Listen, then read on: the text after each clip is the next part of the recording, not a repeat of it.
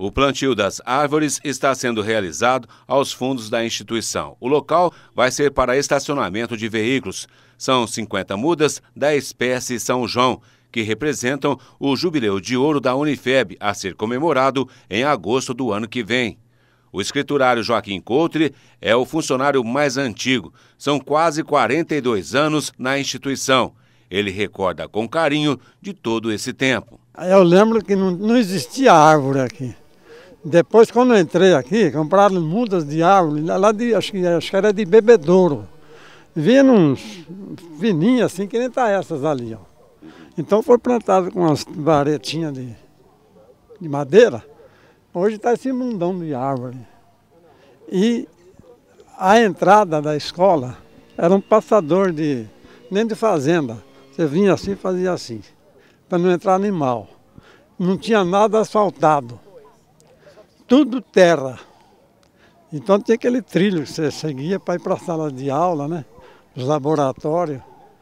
E depois os prefeitos foram dando uma ajuda, arrumaram essas lajotas, calçaram, ficou tudo, as alamedas ali, tudo calçadinho, bonito, que ainda está hoje. E, e, só tinha esse prédio da, da cantina, que é do, é do antigo aeroporto. Eu não sei se era sala de espera, o que, que era ali.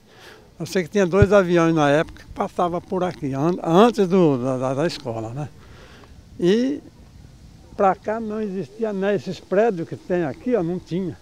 Todas as mudas têm como patronos funcionários mais antigos, entre técnicos administrativos e docentes. Na década de 60, o local funcionava o aeródromo municipal. Com a mudança e instalação da faculdade, é a instituição que busca voos cada vez mais altos. São 26 cursos para 6 mil alunos. A iniciativa do plantio de árvores está sendo feita nesta semana e está enchendo de orgulho os homenageados. É o reconhecimento pela dedicação à Unifeb. Essa homenagem é muito importante e muito bonita também, porque ela justamente visa é, contemplar aqueles que construíram a FEB. Infelizmente, um, um ou outro já não está mais aqui conosco, mas uma grande maioria deles estão, né?